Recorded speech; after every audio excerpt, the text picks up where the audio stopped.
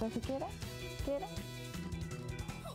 Ya chiquillos, miren lo que estamos viendo ahí. ¿Usted dónde piensa que está, señor, señora? ¿Que estamos en otro país? Pues no, chiquillos. Estamos en Santiago de Chile con una niebla realmente sorprendente. ¿Usted cree que se le empañaron los lentes? ¿Usted cree que se le empañaron los ojos? ¿Que sus párpados están más caídos y por eso está viendo de esa manera? No, señora, no, señor, no es así. Esto es real, the real. Estamos en el verdadero reality, que es la vida. Y lo que queremos decir a todos ustedes es que salgan bien abrigaditos porque hace harto frío. Y fíjate que esta cosa está bastante espesa. Cuando uno venía manejando en dirección al canal, tiritando con este torre ahí muerto de frío, ¿cierto? Nos dimos cuenta que había que manejar con mucho, mucho más cuidado. A tal punto que yo dije, voy a partir el programa bien abrigadita, porque hace frío. Yo quiero demostrar a usted que tenemos que salir abrigaditos de la casa. Y qué mejor ejemplo que decir, pero cómo dentro del estudio está con parca. Claro, pues, para que usted se dé cuenta que nosotros somos el único matinal de la televisión chilena que no lo no le engrupimos, no le engrupimos, ¿cierto? Entonces por lo mismo nosotros estamos todos acá con Parca para que usted sepa que tiene que salir abrigado. Señora, le voy a dar un dato. Usted que salió con su pelo liso en la mañana va a terminar como más falda. Así que no pierda tiempo alisándose el pelo, señora, porque como está la temperatura, como está esta niebla, la cosa la cosa se las trae. Pero nosotros vamos a entretener su mañana.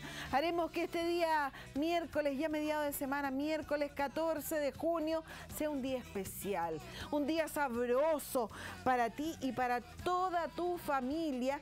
Y de esa manera, ¿cómo lo vamos a hacer? Teniendo buenos invitados, con los cuales lo vamos a sorprender durante esta mañana. Vienen nuestros amigos del Duo viene también nuestro querido Christopher, que nos hace hacer ejercicios. Y bueno, con eso nosotros vamos a tener una mañana muy entretenida. Y por supuesto lo que usted espera cada mañana son las noticias, ¿cierto? las efemérides, aprender todos juntos, disfrutar en familia, porque usted junto a nosotros somos familia. Así que inmediatamente les decimos a todos ustedes que juntos se pasa mejor.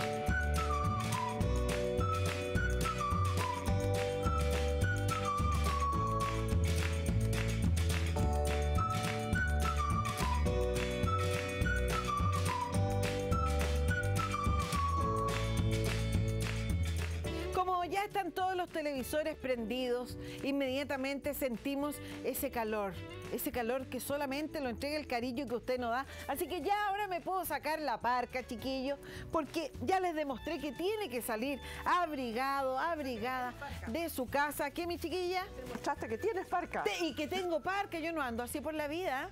No ando así por la vida, no ando con el peludo por todos lados, no, señora. Pero en la mañana hacía frío, así que la voy a dejar acá para indicar inmediatamente a usted, querida amiga, querido amigo. ¿Quién anda por ahí? Felipe, a ver, hace un acercamiento a la... ¿Qué, qué vas a hacer? Ojo, cuidado con lo... ¿Qué vas a hacer, Agustín? ¿Qué pasa con los ojitos, Angelina? ¿Qué? ¿Qué? noche. Ah, mira, me espere. Ahí. Ahí, mira, eso no, no se nota, me eché harto corrector de ojera. mira que no se nota nada. No, anduve trabajando, porque usted sabe que hay que ganarse los porotos. Porque a mí me gustan los porotos con riendas, como buena chilena, y tengo que trabajar hasta tarde en la noche, sí, pues. Pero, pero todo bien. Le mando saludos a todos los amigos que ayer estuvieron disfrutando de una tremenda función que se llama Los 40. Y, bueno, por eso son las, las ojerillas que están por ahí. Pero no te cambies de tema, Agustín, porque vamos a indicar inmediatamente a todos los amigos en sus casas que usted tiene que cumplir con algo muy importante. Y eso es ser parte del programa a través de nuestro fanpage. Usted indique me gusta. Y además, como ayer les explicaba mi querida amiga Miriam, usted lo que tiene que hacer es seguirnos. Porque si solamente pone me gusta, no se va a estar enterando constantemente de lo que nosotros eh, subimos a nuestra plataforma. Por lo tanto, indique me gusta, pero además eh, síganos. Eso tiene que ser, seguirnos. Mira ahí de fondo estamos escuchando esa música más, más moderna. ¿Quién es este cantante? ¿Quién es el Carlito? Pitbull. Ah, el Pitbull. Ya, el Pitbull. Acá, eh, para todos tú- los que están escuchándonos, eh, aprendí un poquitito más de música, ¿ves? Estamos escuchando la música del Pitbull y con eso le recordamos ingresar a nuestro fanpage. Además, escríbanos, no se ponga flojito, ejercite sus dedos. Mire, hagamos unos ejercicios matinales, matinales, con todos sus deditos, para que esté más fácil para poder escribir. Y ahí se pone a escribir, nos manda un correo electrónico fácilmente, contacto arroba canalisb.cl. Además, si tú quieres, puedes llamarnos por teléfono al 22 858 2204. Súper fácil el teléfono 22 858 2204. Muy bien. Eso no es todo, porque tú puedes ingresar también a nuestra plataforma que es www.canalisb.cl, www.canalisb.cl. ¿Y sabes qué vas a hacer ahí? ¿Sabes? Sí, pues ingresar a nuestro streaming y así nos puedes ver en todo el mundo. No te estoy engañando. Es la pura y santa verdad. Por lo tanto, hágalo y comparte esa información con todos y cada uno de sus amigos para que esta familia crezca, crezca y crezca. ¿Cierto? Para que crezca y crezca nuestra familia. Así que ahora nos vamos a ir a saludar a los amigos que se encuentran. Mire, ahí me pongo con la. Yo no ne- necesito hacerme así, miren, como que inmediatamente me aparece. Sí, miren cómo soy yo. Yo me debía haber llamado Aura. Ah. sí, yo no soy la esclava Isaura, yo soy la esclava Aura. Amigos, en esta oportunidad vamos a saludar a Eliseo. Eliseo, tú que estás de santo en este día, es tu onomástico, te queremos saludar como corresponde. Feliz Santo Eliseo. Llevamos hasta, hasta tu televisor esta serenata, esta serenata de amor y cariño que te entrega Canal ISB. Eliseo Salazar, ¿cierto? Eliseo Salazar. ¿Qué otro liceo tenemos? Eliseo... El, el Liceo Manuel de Salas, no, eso es otra cosa, no. Eh, Eso es otro liceo. ¿Qué otro liceo tenemos? Nada más. Pero a usted, mi chiquillo que está ahí en casa, felicidades. Oye, Miriam, eh, Felipito, eh, Agustín, les quiero contar que el otro día me topé con una señora por ahí que me dijo, oye, es muy re bueno que ustedes recuerden lo de los santos. Y yo le digo, sí, pues porque nosotros queremos recobrar antiguas tradiciones. Me dijo, es que a mí me llegaron mis hijos con una trencita. Así es que, si es que podemos contribuir con eso, que co- la trencita, ¿te acuerdas esa tre- No, estaría feo. A mí no me gustaría verlo con trencita, aunque he visto harto que ahora no con Sí, claro. sí. ya, y no, no voy a decir lo que iba a decir, porque eso no, no sirve. Chiquillo, así que ya sabe, salude a todas sus, a toda su familia que lleve ese nombre, Eliseo, y también a los que están de cumpleaños. ¡Feliz cumpleaños! A mi hija le faltan dos días para cumplir 12 años. Miriam, imagínate. ¿La mayor? Eh, la mayor. La mayor. Imagínate qué cosa, cómo pasa el tiempo. Uy. Vamos a observar nuevamente las calles para ver cómo anda la temperatura. Mi querido Agustín, saca una de tus hermosas y maravillosas cámaras para observar. Así partimos la mañana. ¿Se dan cuenta? Yo no por nada estaba con parca. Ahí nos podemos percatar que las personas. Mira esa señora que va ahí, salió con su pelo liso y ahora es una mafalda. Porque no nos escuchó al inicio del programa, muchos van con gorrito, ¿cierto? Algunos se transformaron en afro porque se encresparon con esta, esta, esta bruma, ¿será la palabra correcta, ¿cierto? Eh, que, que hace que, que todo esté más, más húmedo niebla, niebla, pero, pero esa cosa como húmeda que está en el ambiente, ¿te has dado cuenta? Que hace que inmediatamente uno tenga esa sensación, esa, esa humedad, exactamente, sí, muy bien. Esa ¿Has cosa visto? húmeda, Esa es cosa- humedad. Mira, hemos llegado. Tendríamos que hacer como el profesor Salomón, ¿cierto? ¿Cómo era el- el- la rutina del profesor Salomón? Aprovecho de mandarle grande abrazo a mi amigo Pablo Zamora ahí, el profesor, el profesor Salomón. Vamos ahí también a descubrir que la temperatura de este momento, de acuerdo a lo que dicen los expertos, 6 grados, niebla densa. Y cuando decimos niebla densa, podríamos decir que es densa. ¿Cierto? Para que usted no se despiste, señora, señor. Para esta tarde de día miércoles 14 de junio, una máxima probable de 16 grados, parcialmente soleado. Y para esta noche, claro, o parcialmente nublado, con 4 graditos tendremos por ahí. Y para mañana, 17 grados, incremento de la nubosidad. Pero este incremento de la nubosidad seguramente va a ser bastante preocupante porque va a haber más niebla que hoy. Porque fíjate, mi querida Miriam, ayer cuando yo venía de regreso de mi trabajo, Miriam, apenas te veo. Oh, es que es la niebla. Tienes que limpiarte los ojos. ¿Cómo estás? Mal, pésimo. ¿Qué te pasó? Porque me duele la nariz, me duelen los ojos, me duelen las orejas, me duelen los huesitos de viejecita, me duelen los- ¿Y las qué rodillas, me duele todo por la humedad, pues. Ah, eso de verdad que... Sí.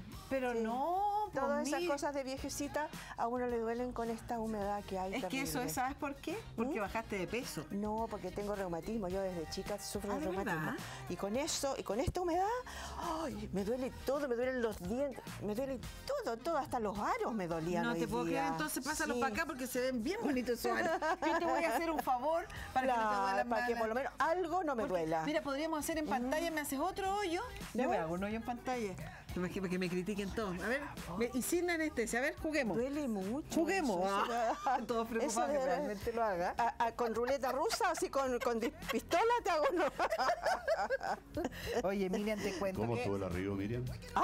El arribo a la... Oh, heavy. Era uno, ¿Unos tacos? Unos tacos, pero que de en algunos tramos no se andaba nada. Yo en cero, absolutamente ahí, parada, miraba, aprovechaba de mirar las noticias. Oye, eh, hab- había un videíto que no lo pude encontrar de nuevo, que penca. Eh, un, un perrito ¿Ya? entró a robar un supermercado. Y se robó una bolsa de comida para perro, obviamente. No te lo puedo Y creer. salió con su bolsito. con- Era muy genial. Bueno, y otra Oye. cosa que supe, perdona, en, en las noticias, eh, eso lo supe súper temprano en realidad, eh, hubo un terremoto en México y Guatemala. Hoy día en la mañana, hace, a, la- a las 5 de la mañana, más aproximadamente hora chilena, eh, yo me comuniqué con, con mis amiguitos de México y me dicen que no, que estaban todos bien. Fue un fuerte temblor, fuerte terremoto en realidad, que sacude la frontera entre Guatemala y México. Cáchense que estoy mirando sin teléfono, sin, sin mis teléfonos, ¿no? Eh, sin los anteojos. Hubo un fuerte, fuerte, fuerte eh, temblor entre Guatemala y, y lo otro es un incendio feroz que hay de un eh, edificio completo, ¿En ¿no? Londres? Sí. Eh, 27 pisos, Miriam. horrible, había eh, como 220 personas solamente fueron, eh, ¿cómo se llama?, Eh, liberadas, rescatadas.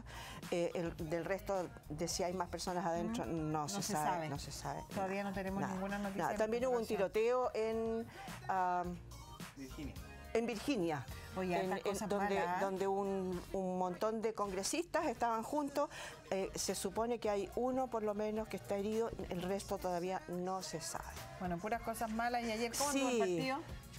Bueno, ahí el Pitbull se las mandó también de repente, pues, en, en un... Eh, así ¿no? es el pitbull. Ayer yo escuchaba personas futboleras y me decían, lo defendían, ¿ah? Me decían- Seguro, me- seguro. decían, Pero es que así es el pitbull. Bueno, a partir de eso, eh, hay algunos futboleros que son intransigentes con su, sus defensas a los futbolistas, así que ahí yo siempre doy un paso al costado. Porque más vale no pelear. Cada uno, con claro. quien- Con quien, no, no, no permite argumento, ¿por cierto? Adivina qué, qué estoy tomando. Eh, estás tomando agüita de manzanilla. No, estoy tomando agüita con olor a cedrón. ¿Por qué? Porque mi bolsa es como súper antigua. Entonces la puse porque no, no me tiene- quedaba otra. Ya no tiene ni... No tiene nada, es como con olor a cedrón, nada más. Oye, pero Miriam, pobre, Estamos ¿vieron muy pobres. Esa, esa agua no tiene, olor a- no tiene color a nada. Nada, pues sí, es agüita perra. Oye, pero, pero igual sirven las agüitas perras. Sí, claro. Miriam, te cuento que ayer yo venía de regreso de trabajar alrededor de las 3 y media de la mañana. Oh, La ya. verdad, y no es chiste, ¿Ya? y no se veía nada. Pero obvio. Pero nada es nada. La- la- la Eh, te podría horrible. decir que un metro, por lo tanto, para conducir eh, fue muy complicado. Claro. ¿Y por qué lo comento? No para que digan, no, aquí trabaja tanto. No. sino que- Pobrecita, todos tenemos que decir así. Pobrecita. ¿Ya? Es para que tengan cuidado, porque de acuerdo a lo que acaba de aparecer en lo que mencionamos para hoy, hoy por la noche, debiera estar peor Sí, claro. que fue esta, esta, Esta- madrugada, esta digamos. madrugada. Así es que para que tengan ojo, porque fíjate que en base a lo mismo que tú decías, también me recordé, hay muchos motociclistas que son absolutamente imprudentes. Sí, claro. Al lado de nosotros, cuando mi marido iba manejando, pasaban motociclistas que ellos veían lo mismo que nosotros, es decir, nada. nada. Por favor, pensemos Claro. también al conducir que hay otras personas, hay otras personas que, que están esperando que tú llegues a tu hogar. Por lo tanto, uno tiene que cuidarse Sí, uno cuidar obvio. al de al lado, ¿cierto? No hay Sí, que ser egoísta en ello. Señor Felipe, don Felipe, ¿podrá hurguetear en mi cartera mi remedito, por favor, que se me quedó y no lo he tomado y voy a caer desmayada en cinco segundos y medio? No te puedo creer. Cuatro, ¿Qué remedio le tomaste? Tres, dos. ¿A qué no sé? A ver, a ver, desmáyate. Muchas gracias. ¿Qué, Es que- qué es eso? No, es un antibiótico que tengo que tomar por mis eh, por mi dolencia de viejecita. Oye, pero ¿y eso te lo puedes tragar? No, pero Miren, es así de grande. no, esto se echa en un vaso con agua y se toma, pero también se puede tomar con mucha agua, que es lo que yo voy a proceder a hacer en este O minuto. sea, en este minuto en pantalla vamos a ver una persona que se una va a atorar. homicidia, un homicidio. Miriam, es que yo no puedo creer que tú te... No, cuando mientras tú lees la primera efeméride, Ay, yo me no se tomo. vale, No. no se vale. Yo quiero ver esto porque tú sabes que va a estar desconcentrado todo el programa, que no puedo creer. Parece un ya está, señora. Así un No. tremendo. Bueno, por favor, mientras tú lees la primera efeméride, eh, yo, yo, yo me lo tomo. te vas a... De verdad que sí. Ya, voy a creer que va a poder hacerlo. Traigan 5 litros de agua para Dale, que traiga esa tremenda dale. pastilla. Ahora, chiquillos, mientras Miriam hace esta tremenda locura, partimos inmediatamente con el minuto del conocimiento. Vamos con las efemérides. 1986. Jorge Luis Borges, escritor argentino, recordado por su obsesión con el tiempo, la eternidad, el infinito y el destino. Sus grandes obras fueron El Aleph y ficciones de gran profundidad filosófica debido a la ceguera. Quedó ciego como consecuencia de una enfermedad congénita que había ya afectado también a su padre. De su pluma salieron cuentos, poemas, ensayos y crítica literaria, pero eludió la novela porque se le antojaba un género subalterno e incluso despreciable. Fue traductor desde niño del fútbol y, del fútbol opinaba. El fútbol es feo estéticamente. 11 jugadores contra otros 11 corriendo detrás de una pelota no son especialmente hermosos. Ganó un sinfín de premios y reconocimientos por su carrera literaria. Sin embargo, le faltó adjudicarse el más importante de todos, el Nobel de Literatura. ¿Has leído algo de, de Jorge Luis Borges? Sabes que seguramente, fíjate, lo más, lo, lo más probable que sí, pero sabes que te quería comentar también, Miriam, es que él fue inspirador del personaje Jorge de Burgos, el anciano de enorme erudición, no vidente, que controla la biblioteca de la abadía donde ocurre una serie de crímenes en el nombre de la rosa. El libro más, ven- más vendido de Humberto Eco, pero Correcto. de eso te aseguro que tú sabes mucho más porque usted es mi Es enciclopedia. que, es que además, además de eh, todo el mundo conoce el, el nombre de la rosa por la, por la película, ¿no? En realidad eh, fue lo más cercano. Eh, es la novela más famosa que tiene Humberto Eco y el personaje principal, eh, el, el- el que está a cargo de, de esta biblioteca, Ya. eh, en ese personaje, eh, se ese personaje fue inspirado en, eh, en don Jorge Luis Borges, escritor argentino. Qué, qué lamentable, oye, que no se haya ganado el Nobel Nunca se ganó, fíjate, el, el- el premio Nobel. Fue postulado varias veces, varias veces. Pero yo creo que muchos pensaron que debió haberlo ganado. Seguro, sí, claro, seguro, seguro. Vamos a otra, mira, yo les cuento que en 1982, para que usted sepa, fue la rendición de las tropas de, del Estado Mayor Conjunto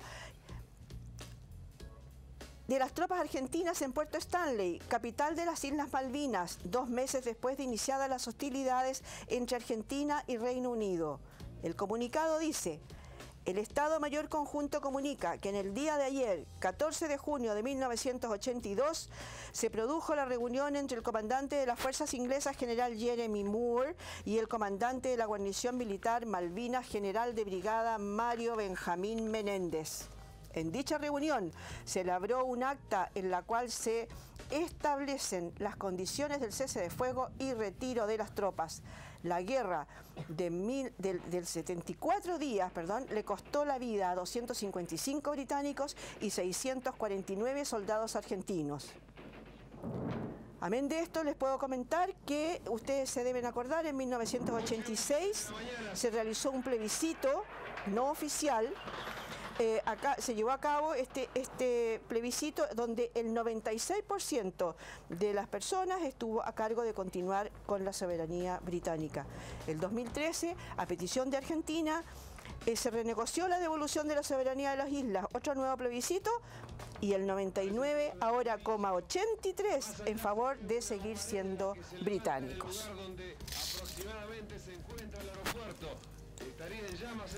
Fue una guerra eh, muy heavy en realidad. Eh, hay eh, grandes secuelas de esto. Sobre todo porque después de cuando empezaron a hacer ya, cuando ya se, ya se fueron, digamos, los argentinos y empezaron a buscar cosas, encontraron que había muchos niños que venían desnutridos, que venían en mal estado, que venían muy mal en realidad de haber estado en la guerra y resulta que les habían mandado cualquier cantidad de cosas. De, eh, se encontraron hasta barras de chocolate que les habían mandado y nunca les llegaron a los eh, soldados. Así que bueno. y esos datitos eh, son bien importantes también a considerar. ¿ah? Pero sin embargo, todos los malvinenses quieren seguir siendo británicos y no pasar a ser de Argentina. Es una herida abierta para los argentinos lo que, de lo que estamos hablando. Así que mejor vamos a otra que es súper buena, en realidad es muy bonita la que viene. Vamos a la siguiente, esto sucedió en 1982.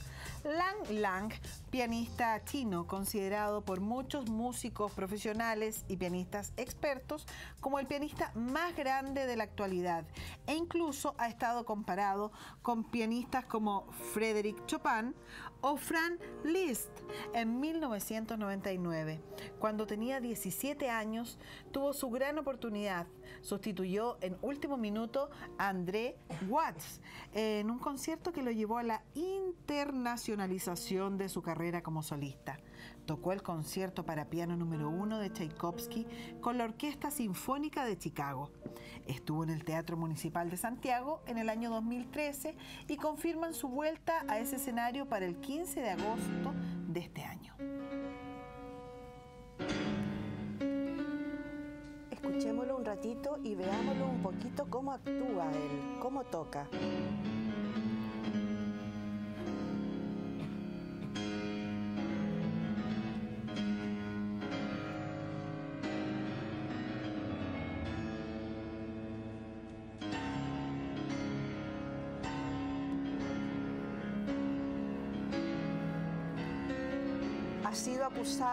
Ser un poquito melodramático en, sus actuaciones. Tú lo ves ahí con, el ímpetu, con la fuerza, eh, cómo interpreta, ¿no?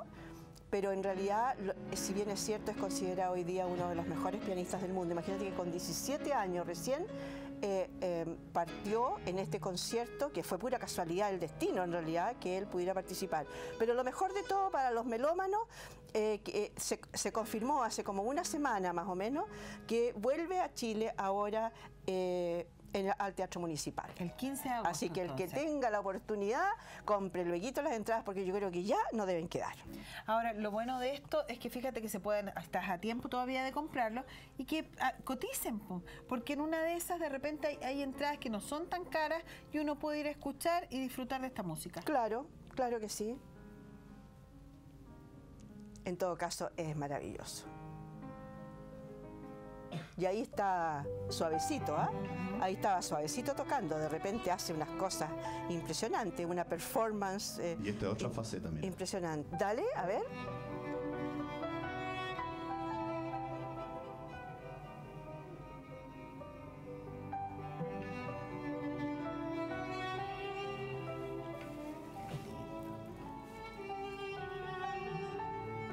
Alcanzo a darme cuenta ahí, él sigue siendo el pianista, ¿verdad? No es el chalista, ya. Qué buena, tocando música de cámara, espectacular. Los chiquillos, los, los chelistas son espectaculares también. ¿Te das cuenta que están con la, espalda? No te escuché bien, eh, Agustín. Están los tres de espalda. Claro, sí, pues no se ven entre sí. Lo cual es fundamental para cuando hay un conjunto de música, ¿no? Estarse mirando. Seguir los acordes y todo eso. Esta melodía es de una de las películas James Bond. ¿De Evangelis? No, de James Bond. Bond. Ah, James Bond, ya. Creo que si, no me equivoco es algo de deja Vivi, deja Bueno, y ahí se hace notar mucho más lo que tú mencionabas, po, ese carácter para tocar el, Sí. el piano de manera Sí. que lo, lo hace distinguirse de otro. No se equivoca nunca, nunca toca la tecla al lado, no puede ser eso, ¿no? Es como un robot. Ah, sí, claro, ahora ya la, ya la, ya la reconocí.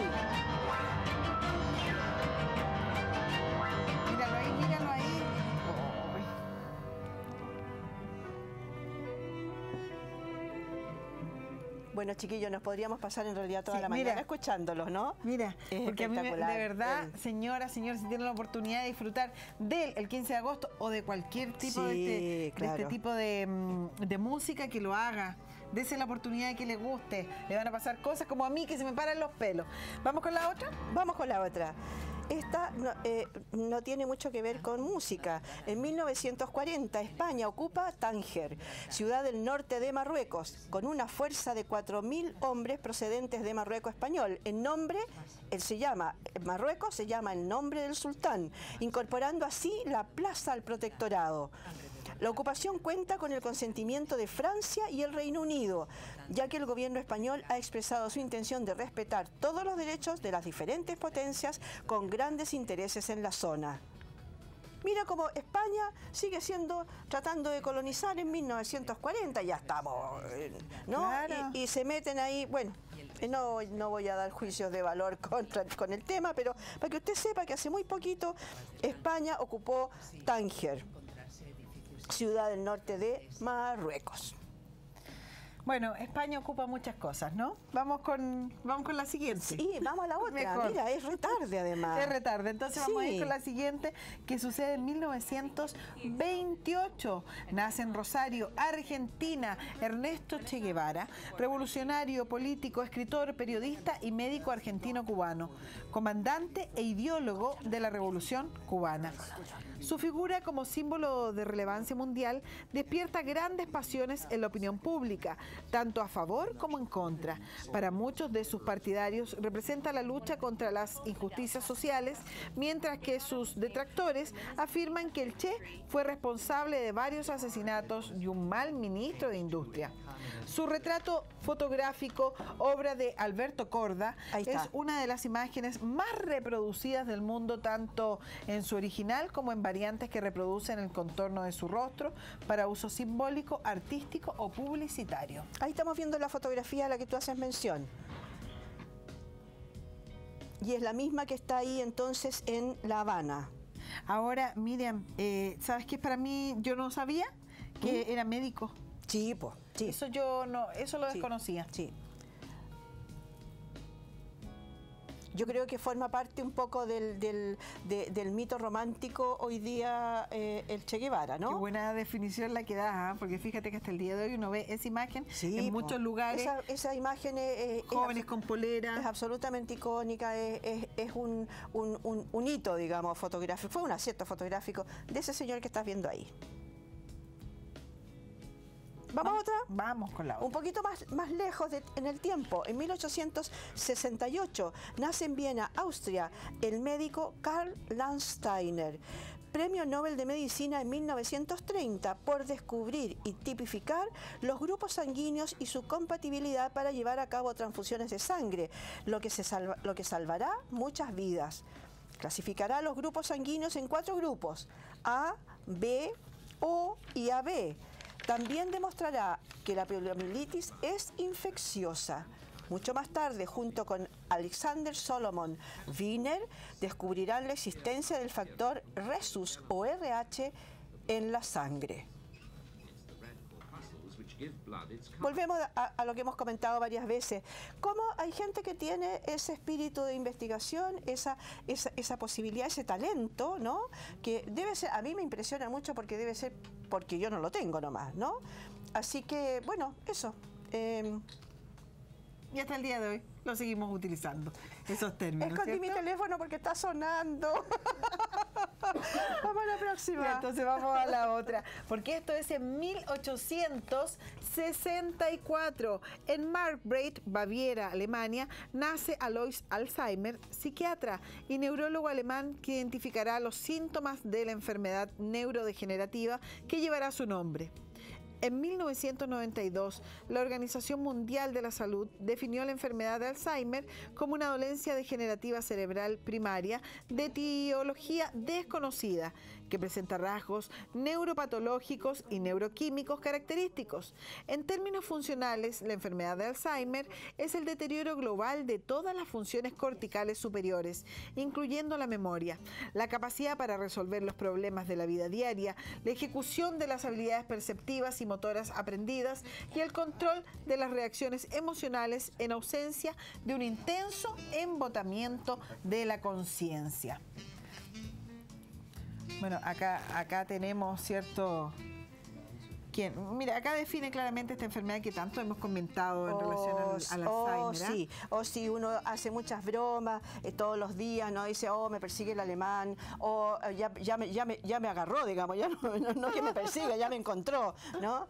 Eh, pero por Dios, la enfermedad tonta, la enfermedad, eh, bueno, esperemos que luego ya se encuentre algún tipo de, De cura. De cura para, para este O para mal mitigarlo un poco. por lo menos la- retrasarlo, no Sí. sé, algo. Pero hoy día, chiquillos, yo les puedo contar que justamente eh, por, por el, el descubrimiento de este señor eh, Karl Landsteiner, hoy día se celebra, según la Organización Mundial de la Salud, el Día Mundial de Donante de Sangre. Indicaciones generales para tener, para ser donante de sangre. Hoy día, tener más de 18 años y menos de 65. Si es la primera vez que dona, la edad límite es 60 años. Gozar de buena salud. Pesar más de 50 kilos. No estar en ayunas. No haber tomado alcohol ni haber fumado marihuana en las últimas 12 horas. No estar embarazada o lactando. No haber tenido hepatitis después de los 12 años. Deben tener, haber transcurrido más de tres meses desde la última donación si es varón y si es mujer más de cuatro meses desde la última donación. Así que hoy día eh, recordemos esto, que no solamente cuando hay alguien que esté en urgencia eh, para ir a donar, sino que hay que hacerlo en forma más o menos continua. Eh, los bancos de sangre necesitan tener, eh, por si acaso sucede cualquier cosa, necesitan Claro. tener sangre en, en su bodega, digamos, ¿no? a disposición. Aparte que recordemos que nunca sabemos cuándo nosotros Cuando podemos nos va a tocar al, revés y nos va a tocar a nosotros ser los que estamos pidiendo y no solamente ser ¿Cuántos donantes. anuncios ahora uno ve en Facebook, por ejemplo, que es algo más espontáneo que uno lo ve en las Sí. redes sociales? Por favor, ayuda para tal persona, por favor, para mi hijo, para mi abuelo, para... Entonces es un día importante para, para dar una vuelta, Sí. ¿cierto? Ir a ayudar. Oye, ¿encontraron el video de Firulai? A ver. Ah, ¿De este veamos, delincuente? Veamos para podernos ir a comerciales. Este delincuente que pillaron por ahí, yo no sé si lo tienen a mano. Ah, mira. Con una bolsita de. Con una bolsita de, de su alimento, el muy chanta. A una veterinaria, no fue a un, a un supermercado. Ya. Mira, y se va ahí el muy prisco. Y mira cómo termina agradeciendo.